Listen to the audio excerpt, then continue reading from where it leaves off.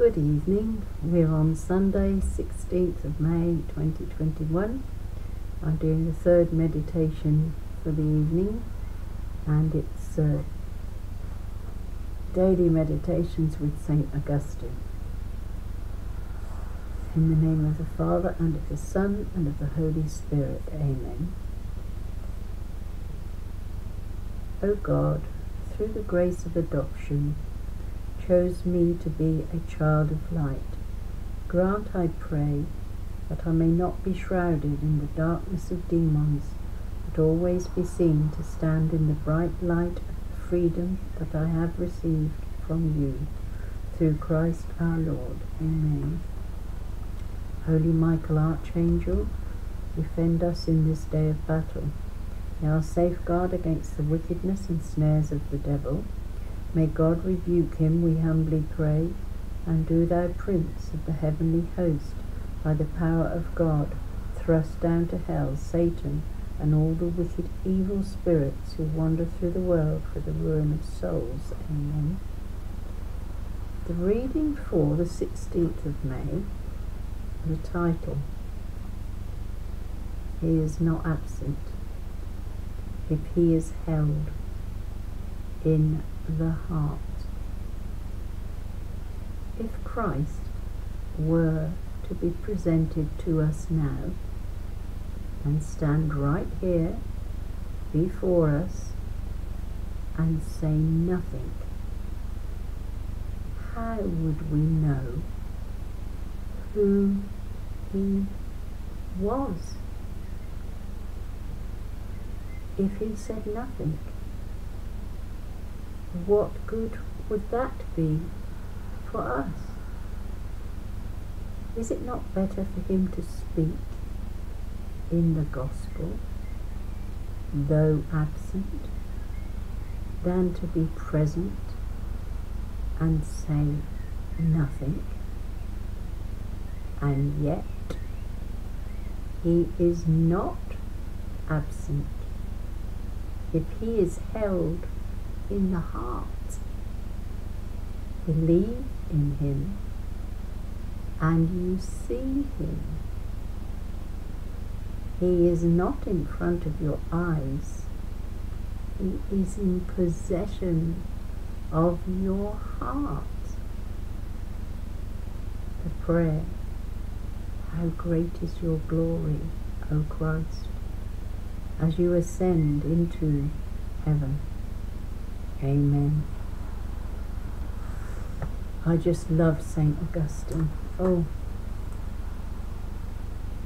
Psalm 145 My soul give praise to the Lord. I will praise the Lord all my days. Make music to my God while I live. Put no trust in the powerful mere mortals, in whom there is no help. Take their breath, they return to clay, and their plans that day come to nothing.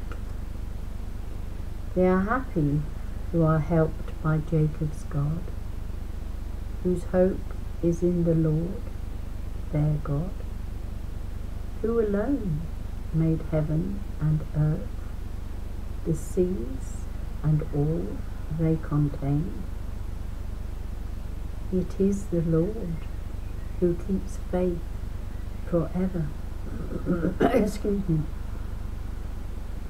Who is just to those who are oppressed. It is God who gives bread to the hungry the Lord who sets prisoners free, the Lord who gives sight to the blind, who raises up those who are bowed down, the Lord who protects the stranger and upholds the widow and orphan it is the Lord who loves the just but thwarts the path of the wicked. The Lord will reign forever. Zion's God from age to age. Word of the Lord. Psalm 146. Praise the Lord, for he is good. Sing to our God, for he is nothing. To him our praise is due. The Lord builds up Jerusalem and brings back Israel's exiles. He heals the broken-hearted. He binds up all their wounds. He fixes the number of stars. He calls each one by its name. Our Lord is great and almighty. His wisdom can never be measured. The Lord raises the lowly, he humbles the wicked to the dust. O sing to the Lord, giving thanks. Sing psalms to our God with the harp. He covers the heavens with clouds. He prepares the rain for the earth making mountains sprout with grass and with plants serve our needs.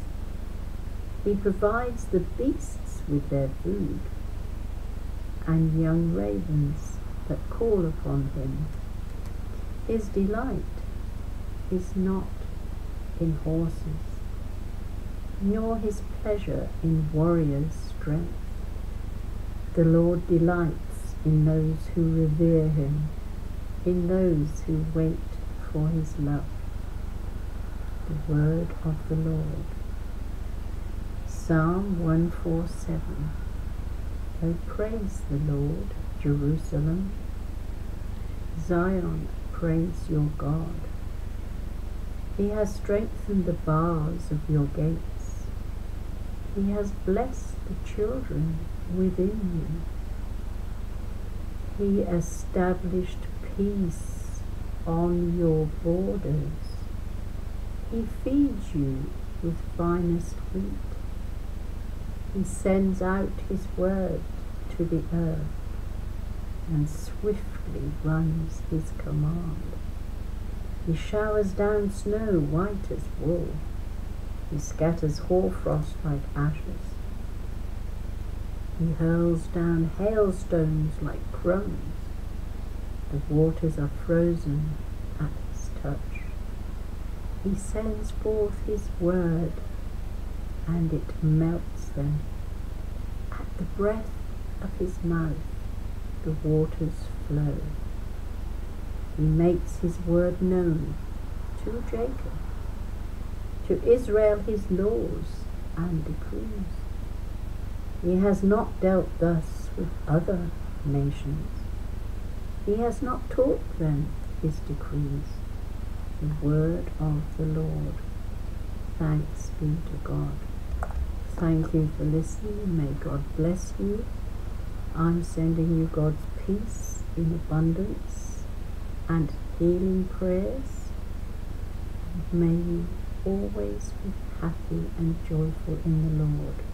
And if you can't join me live at 8.30, please say a few prayers for the ceasefire of war between Israel and Palestine, and particularly the suffering people in Gaza. I know for a fact before last night the number of women that had been killed was 34, but I've forgotten what my goddaughter said, the number of children. There are a number of children who have been killed in the bombing.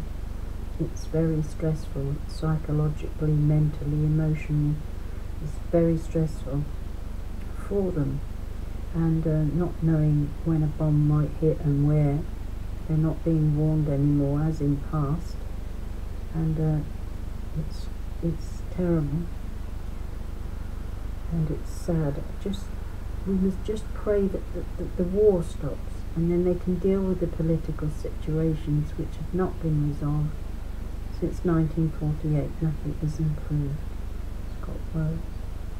So thank you and bless you, and don't forget to pray for against all wars everywhere. Thank you. Bye bye.